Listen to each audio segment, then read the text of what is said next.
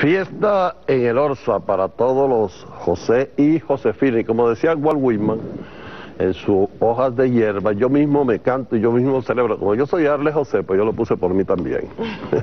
bueno, estamos aquí con Mónica Venegas. Mónica Venegas me acaba de traer esta ley. Es la ley, aquí está en español, ley para sancionar los crímenes, desapariciones, torturas y otras violaciones de los derechos humanos por razones políticas en el periodo 1958-1998. Es todo ese periodo de la Cuarta República y del punto fijismo. Esta es una edición bilingüe. Usted la pone así y tiene la versión en inglés. ¿Por qué? Porque esta ley debe ir pues eh, a las instancias internacionales, a las embajadas, y debe ir por lo tanto en los dos idiomas. Eh, y en los idiomas que sea necesario la editaremos para que lo que ocurrió en ese lapso de nuestra historia no quede en el olvido. Precisamente Mónica Venegas es psicóloga clínica y social, profesora asociada en el área de psicología en la Escuela de, Sociología de la Universidad Central de Venezuela. Es miembro principal de la Comisión por la Justicia y la Verdad, coordinadora de los asuntos internacionales de la misma. Esa asociación, su objetivo es que esta ley se haga letra viva y que se haga justicia. Y forma parte de la Asociación Bolivariana contra el silencio y el olvido y de otros organismos que luchan por los derechos humanos y el rescate de la memoria histórica. Bienvenido al kiosco Verá. Muchas gracias, Ale. Qué placer que tú, digo yo con mucha de kioscovidente, estés ahora invitado a este kiosco y seas protagonista de este programa. Eh, bueno, ya la comisión cumplió el cometido para el cual fue designada de acuerdo con la ley. Así es. Durante cuatro años estuvo trabajando. Cuatro años. Cuatro años eh, de trabajo fuerte. Yo diría que faltó un poco todavía porque examinar 40 años no es poca cosa. 40 años además tan, tan atrás, ¿no? Sí, y para, para, dice, para sancionar los crímenes, desapariciones, tortura y otras violaciones. Eh, tú, dices que, faltó tiempo. Que, Faltó tiempo para tanta cosa, ¿no? Sobre todo porque el caso de las desapariciones, la desaparición forzada es un crimen de lesa humanidad terrible, ¿no? Claro. Porque es un crimen que justamente busca ocultar el hecho. Y los que lo cometen, evidentemente, pues no quieren dejar rastro. Y los que estamos detrás de las desapariciones forzadas, nos cuesta encontrar los rastros que han sido invisibilizados y, y enterrados, ¿no? Fácil. con todo y eso nosotros logramos, logramos algunos rescatar restos, ¿no? Pocos, quisiéramos haber sido mucho más. Pero, mm, ¿qué pasa? Que son muchos años. Muchos testigos de la época ya fallecieron. Mucha gente mm, quiso olvidarse, ya no, no hablar más de eso. Sobre todo el tiempo, el tiempo, ¿sabes? Juega al olvido, ¿no? Pero con todo hemos conseguido y seguiremos buscando porque no termina la comisión, no es que ya más nunca, ¿no? ¿Cómo nombran esa comisión? ¿Cómo, cómo, cómo la nombraron en su momento? ¿Y quiénes, y quiénes la integran? esta es una comisión importante porque en América Latina eh, hubo muchas comisiones de la verdad. La mayoría fueron nombradas por el Ejecutivo directamente y esta es una mm, comisión de la verdad que fue creada por ley. Dentro de la ley se creó la Comisión de la Verdad. Y eso tiene importancia porque evidentemente la comisión se extingue, pero la ley no se extingue. Entonces la ley permite continuar eh, cumpliendo con los objetivos de la ley, que era básicamente la verdad, la justicia, encontrar los restos de desaparecidos, reivindicar la memoria histórica y reivindicar el nombre de estas eh, personas, de estas víctimas, que fueron tratados de bandoleros en la época. No fueron tratados como prisioneros políticos, no fueron tratados como adversarios políticos. a pesar... bandoleros. Sí, bandoleros. Parece que preso político allí es ahora. Ajá, sí. O sea, que los que estaban en el cuartel San Carlos, todos aquellos que estaban en los teatros de operaciones, en los terribles y lúgubres Teo 3. Así es eh, en las cárceles, eso no eran prisioneros políticos. No eran prisioneros políticos y nada parecido a lo que puede haber ahora, porque los teatros de operaciones funcionaban autónomamente sin respetar en absoluto ninguna ley. Los teatros de operaciones fueron realmente campos de concentración. Eso fue lo que fueron. Claro. Yo voy, a, yo voy a leer rápidamente el nombre de las personas que integran la Comisión por la Justicia y la Verdad, Luis Ortega Díaz, fiscal general de la República, José Vicente Rangel, vicepresidente, es vicepresidente, parece, Tarek William Satt, representante del Ministerio del Poder Popular para Relaciones Interiores en ese momento, Jorge Rodríguez, José Numa Molino, el padre José Numa, Orángel López, Edgar Lucena, en ese momento del partido, este, sigue siendo eh, diputado del Partido Comunista de Venezuela. Jesús Farías, Yul Yabur, también diputado, Claudio Farías, Liris Sol Velázquez, María del Mar, que ya no está con nosotros. María del Mar Lovera. Sí. La viuda del profesor Alberto Lovera. La viuda del profesor Alberto Lovera. Matías Camuña, marchante, el padre de Matías Camuña. Marelis Pérez Marcano, Mónica Venegas, aquí presente, Antonio Arias, Pura, Rosalba Soto Rojas, Elia José Olivero, Raquel María Castro Acevedo y David Pali Fuente. Esta ley fue aprobada en el 2011, el presidente de la Asamblea Nacional en ese momento era Fernando Soto Rojas, un protagonista de este año, de, aquellos años terribles, y después presidente de la Asamblea Nacional que impulsó, promovió y aprobó esta ley. Vamos a seguir hablando de este tema, hacemos una pausa y ya regresamos en este San José al kiosco con Mónica Venegas y la fiesta patronal de San José de Guarita. Ya regresamos. Seguimos en el kiosco Verás, estoy recibiendo muchos mensajes de gente que quiere que lo felicite pero en Venezuela lo que pasa es que si me pongo a felicitarle, imagínate cuántos José hay en este país. Yo creo que la mitad de Venezuela es José, o Josefina. Aquí estamos entre para todos, pues un abrazote el día de San José y después van a escuchar fiesta de Garorza nuevamente. Por cierto, hoy se está celebrando una misa, y no justamente por el motivo del día de San José. Una misa en honor, en memoria de el doctor Jesús María Bianco. Se está celebrando en el Colegio de Médicos de Caracas, antes se llamaba Colegio Médico del Distrito Federal, Estado Miranda y no sé qué más cosas, de, Caracas, eh, en homenaje a la memoria del doctor Jesús María Bianco. Mañana 20 es el natalicio número 100, o sea, el centenario, estaría cumpliendo 100 años de su nacimiento, el doctor Jesús María Bianco, nació en Barinas.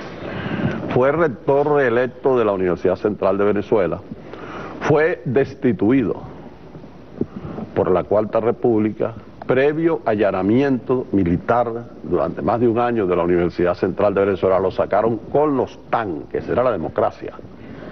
Lo destituyeron, él fue reelecto por estudiantes, profesores de, la UCB, y él se ganó el título honorífico de rector magnífico, Mónica. ¿Usted conoció a Bianco? Sí, lo conocí. Extraordinario, ¿verdad? Sí, lo conocí. Extraordinaria persona. Un rector inolvidable. Ojalá hubieran rectores como el doctor José María Bianco. Nosotros lo recordamos una imagen de él, por cierto, Mónica, en una marcha. Se, realizaron demasiadas marchas del pueblo venezolano apoyando a su rector. Esa fue una causa del país más que de la, de la, de la UCB nada más. Y, recordamos a él marchando de brazo, tomado de brazo con Jorge Rodríguez Padres, los dos marchando. Mm. Esa imagen siempre fueron muy amigos. Jorge Rodríguez fue representante ante el Consejo Universitario cuando era rector Jesús María Bianco. Honor y gloria y feliz centenario y un saludo a toda su familia. No estamos allá porque hoy estamos cumpliendo con la responsabilidad de estar aquí en el kiosco. Y ahora vamos a seguir conversando con Mónica Venegas sobre este tema porque el próximo viernes 24 esta comisión que se nombró de acuerdo con la ley va a entregar su informe al país, al pueblo venezolano, de las conclusiones a las que llegó. Pero bueno, para llegar allí hubo todo un proceso, yo diría que engorroso, Mónica. ¿Qué método utilizaron ustedes? ¿Qué procedimiento para llegarle? Eh, a personas desaparecidas para conseguir restos, para encontrar culpables. ¿Qué pasó? ¿Cómo hicieron todas esas cosas? Bueno, varios, varios métodos. Hay que reconocer que tuvimos acceso a archivos, a los archivos militares de la Corte Marcial. Tuvimos acceso... eso era hermético Eso era hermético. Se, se desclasificó La ley pedía, la ley exigía la desclasificación de los archivos y eso se cumplió. Los archivos policiales también tuvimos acceso a los archivos de ex DIGEPOL, de la ex y de la ex CIFA, que es bastante decir, ¿no? Es cualquier cosa. Sí. Se examinaron miles de archivos, miles, miles de archivos. Y no todos los, nombres que pedíamos encontramos, o sea que las, las cifras que va a dar la, la presidenta en el acto del 24 eh, no representan totalmente todas las víctimas porque muchas de las personas que solicitamos sus expedientes no estaban. Habían sido, todos los desaparecidos obviamente no estaban en los archivos. Era de suponer que sus expedientes allí no figuraban. Entonces, bueno, son más las víctimas todavía. Exacto. Sí. Y, y, en esa búsqueda, ¿ustedes consiguieron algún aporte de de los cuerpos de seguridad de aquella época o de individuos que trabajaron en los cuerpos de seguridad? Este, diríamos que no. Individualmente no. Tuvimos testigos, pero testigos sobrevivientes de familiares, las mismas víctimas que no habían perecido, pues que estuvieron presas muchísimos años, estuvieron detenidos, fueron los testigos fundamentales, familiares, gente que vivía en los pueblos donde funcionaban los teatros de operaciones. Eh, trabajó con nosotros, trabajó con nosotros y allí fue, digamos que uno de los aportes más importantes porque ellos conocían los sitios donde habían sucedido los hechos. Ellos dijeron, aquí fue, yo, yo no lo vi, pero sé que ahí está enterrado alguien, ¿no? Más allá. Y eh, en ese sentido, cuando alguien señalaba algún lugar, se acudía al Ministerio Público, a la unidad criminalística del Ministerio Público, a la que hay que reconocerle un trabajo muy serio, muy científico, ¿no? que procedía con todo lo, lo que se procede en estos casos a identificar, a sacar la persona, identificar sus restos y compararlos con el ADN de sus familiares. Ya previamente se hizo toda una muestra de ADN, que tenemos un banco importante para las personas que en el futuro puedan seguir apareciendo. Oye, y, tú al principio hablabas que a Latina eh, existieron muchas comisiones de la verdad por, las situaciones que se dieron en otros países de, represión. Ustedes eh, tuvieron colaboración, porque quizás allí había una experiencia de, de, esas comisiones. Claro, colaboración exactamente no, pero sí uno se inspira, pues lógicamente en lo que ellos habían hecho, ¿no? Eh, yo recorrí varios países, estuve con la gente que formó parte de esas comisiones de la verdad y ellos me explicaban cómo habían sido sus métodos. Es diferente en cada país, diferente. Nosotros partimos de, de, lo que teníamos aquí. Lógicamente, antes de la Comisión de la Verdad ya existían organizaciones de defensa de derechos humanos como Ave Consol, Cantaura Vive, varias organizaciones, pero que estaban muy fragmentadas. Y es la Comisión de la Verdad la que logra aglutinar todas estas eh, organizaciones dispersas y hacer pues realmente un, grupo que logra llevar a cabo lo que nosotros vamos a presentar como lo que son las conclusiones de nuestras investigaciones en estos cuatro años.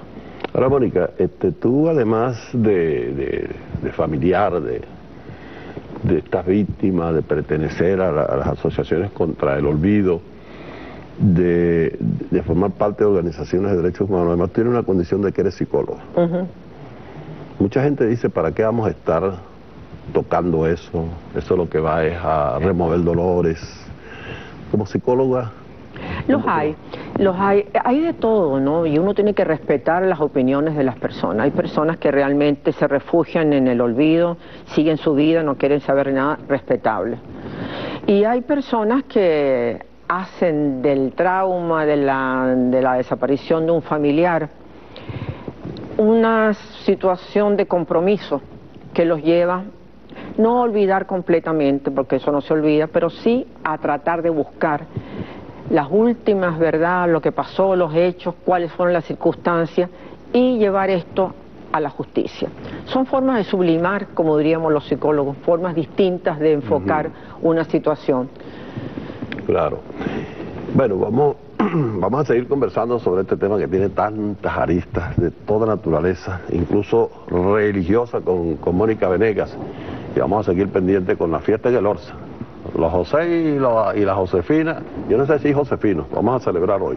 Nos vemos en el, en el próximo cemento en el kiosco Verás. Seguimos en el kiosco Verás. Bueno, ahí tienen ustedes las dos versiones de los perros, los que son simpáticos, para el señor Kuczynski y para el imperio, y los que son antipáticos. Y nosotros seguimos conversando con Mónica Venegas, porque el próximo viernes 24 entregaremos en el teatro principal el informe de la Comisión por la Justicia y la Verdad, un trabajo sumamente difícil y que tiene cosas sutiles, campos donde es difícil diferenciar una cosa de la otra. Por ejemplo, Mónica, los casos de, de los crímenes, de la violación de derechos humanos. Eh, hay quienes dicen que el caso cuando, cuando un guerrillero muere en combate, esto es un crimen, por ejemplo. No, cuando un guerrillero muere en combate nosotros no lo consideramos un crimen. Lo que consideramos un crimen es que su cadáver no se le entregue a la familia, que su cadáver sea enterrado en el monte, que su cadáver sea desaparecido y no se cumpla con lo que la, internacionalmente debe cumplirse. Eso es un crimen, no el hecho del encuentro. el encuentro lo hubo, pues. El encuentro lo hubo, los riesgos se asumían y era así. Pero una persona que muchos de estos encuentros no acababan directamente con la vida de la persona, quedaba herida, por ejemplo. Y sin embargo esa persona se remataba. Y sin embargo esa persona se enterraba y no se sabe dónde se enterraba. Ese es el delito. Sí, claro. Este, muchas veces la orden era que no había guerrillero preso, sino que, bueno, se, se, se exterminaba. Ahora, eh, cuando en esta, en esta búsqueda, generalmente uno piensa que, que, las desapariciones empiezan con el caso del profesor Alberto Lovera. Ciertamente es allí donde podríamos. No, los primeros desaparecidos nosotros los tenemos antes. Antes. Antes, sí. Porque en el caso del profesor Lovera fue en el 64, ¿verdad? Sí, sí, no, ya en el 62 tenemos desaparecidos. Claro. Pasa que el caso del profesor Lovera fue tan, eh, tan horroroso, tan llamativo por el hecho de de que el mar devolvió el cadáver y lo devolvió en esas condiciones, con una cadena, con un pico, que quedaba el crimen tan absolutamente al descubierto que trascendió mucho, además el profesor Lovera era un miembro del Partido, Comunista, importante, entonces claro, esas cosas trascienden más. Claro, hubo, hubo el impacto, eh, primero el ensañamiento con la persona, que le colocan un pico una para que no flotara, ¿no? y una cadena para lanzarlo al mar Luego la parte simbólica que el mar lo devuelve. Lo devuelve con el pico y la pala. En lechería. En las playas de lechería, en el estado en Suati. Y luego el debate que se da, donde hay que reconocer pues el que, el joven diputado entonces, José Vicente Rangel, jugó un papel muy importante. Esos fueron... José Vicente fue para nosotros realmente prácticamente el único eh, al cual todas las familias de, que estaban buscando a sus víctimas, a sus seres queridos por todos los lugares eh, donde podían buscarlo, bueno, José Vicente era el acompañante, el acompañante, realmente el paño de lágrimas se la jugó en esa época y se la sigue jugando todavía, diría yo. Eh, cuando tomamos la experiencia de, de otros países, lo conversamos, eh, hay casos donde realmente queda, bueno, dicen, bueno, si investigamos estamos revolviendo recuerdos, vamos a ver, pero cuando no se investiga entonces quedan aquellos sentimientos de impunidad, de, crímenes eh, sin que se haga, por ejemplo el caso de Guatemala. Yo recuerdo que, que incluso cuando estaba eso en pleno apogeo, yo estuve en Guatemala y me hablaban de, de la revolución desconocida, porque no se hablaba de Guatemala. Aquí se habló de muchas revoluciones, pero lo que ocurrió en Guatemala, cuando inclusive eh, eh, el hijo de Miguel Ángel Asturias estuvo en las guerrillas, se incorporó a esas guerrillas, pero ni eso. Y allí todo eso quedó como un manto de silencio terrible, Mónica. Sí, lo de Centroamérica en general fue espantoso. En ese sentido, no fueron poblaciones indígenas, un genocidio realmente, un genocidio, hay que llamarlo con todo, con todas sus letras, ¿no? Y eso no fue tan difundido como ha sido las comisiones del Cono Sur, que tuvieron mejor suerte en ese aspecto. Quizá porque las personas que formaron parte de los grupos de resistencia eran muchas partes universitarios, pertenecían a familias que pudieron realmente salir a la luz pública, denunciar, pero en Guatemala y en Centroamérica en general eso fue terrible. Sí, ahí se cayó realmente el silencio. Sí, sí, el silencio fue aplastante. Que no ocurrió ni siquiera con, con, esa atroz dictadura de Francisco Franco cuando allá en, en España. Ahora, eh, ¿qué sacan ustedes? Pues vamos a poner el caso de Argentina y Chile en cuanto de experiencia, en cuanto a resalcir a, a las víctimas, a los sobrevivientes, mejor dicho, a los sobrevivientes de quienes eh, fueron víctimas de desaparición, de tortura y de muerte. Sí, en Chile se hizo un buen trabajo, que reconocer un buen trabajo. Hicieron dos comisiones de la verdad, pero antes de las comisiones de la verdad existía el comité de la, la Vicaría de la Solidaridad. Y hay que reconocer que la Iglesia Católica, por lo menos con ese... Eh, la persona que estaba al frente en ese momento tuvo un destacadísimo papel se arriesgaron. fue, estaba señor Enrique. ¿eh? Sí, sí. y que Raúl Enrique, así se llamaba. Y verdaderamente él está en plena dictadura, en plena dictadura funcionaba la vicaría, la solidaridad, denunciaba, tenía profesionales, psicólogos, tenía para atender, a las... para atender a las víctimas y fueron sus archivos los que sirvieron de base para las posteriores comisiones de la verdad. Hubieron dos comisiones, la Retin y la Vales. Y en Argentina también se, un y se hizo un trabajo encomiable. ¿Y cómo se hizo aquí en Venezuela para que una Fuerza Armada, que aun cuando, bueno, viene un proceso de revolución y todo eso, pero que viene de una escuela, esa, esa Fuerza Armada nuestra viene de la Escuela de las Américas, de West Point, de la lucha antiguerrillera. ¿Cómo se hace para que abran esos archivos, para que realmente colaboren como realmente lo hicieron? Sí, yo no creo que quede mucho ya de los discípulos de las escuelas de las Américas, ¿no? Quiero creer que tampoco la herencia en un momento dado se cercenó. Hay que reconocerle a las Fuerzas Armadas que en verdad abrieron sus archivos, en verdad cooperaron, en verdad el Estado en general se abrió aquí en Venezuela para eso, no el gobierno, el Estado y quiero dejar eso claro, eh, la ley le exige al Estado que haga todo este tipo de diligencia. Y el Estado en este caso cumplió. El Estado antes no había cumplido. Esta ley es iniciativa, Mónica, de los familiares. Es iniciativa de los familiares, Son los que empiezan a motorizar esto. Sí, sí. Hay que reconocer el papel de Fernando Sotorroja, que estando como presidente de la Asamblea, impulsó la ley, pero la iniciativa en realidad son de, todos los familiares. estos familiares. Los familiares, exactamente. Claro, y en todas partes ha sido así. Ha sido así. Son los que empujan. Claro.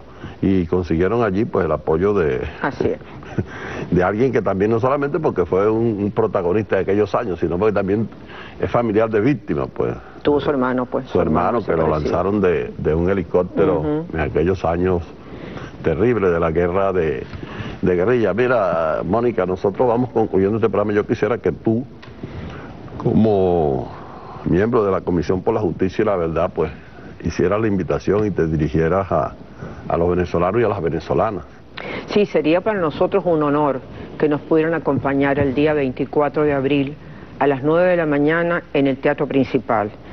Creo que la memoria no se puede perder y creo que ahí va a haber mucha memoria. Ahí se van a entregar datos de cosas muy desconocidas para la historia venezolana. Los invito. Bueno, muchas gracias a Mónica Venegas. Nos vamos a ver allí el viernes.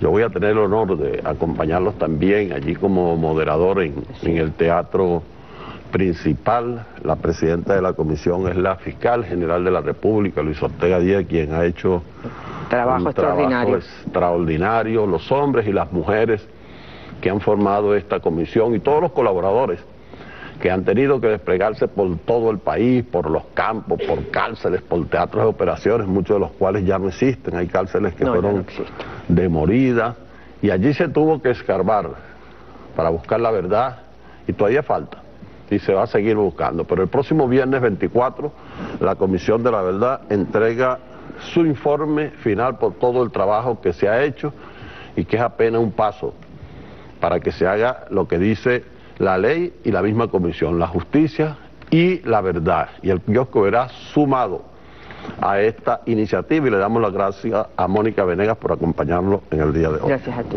Muchas gracias, hasta el próximo domingo.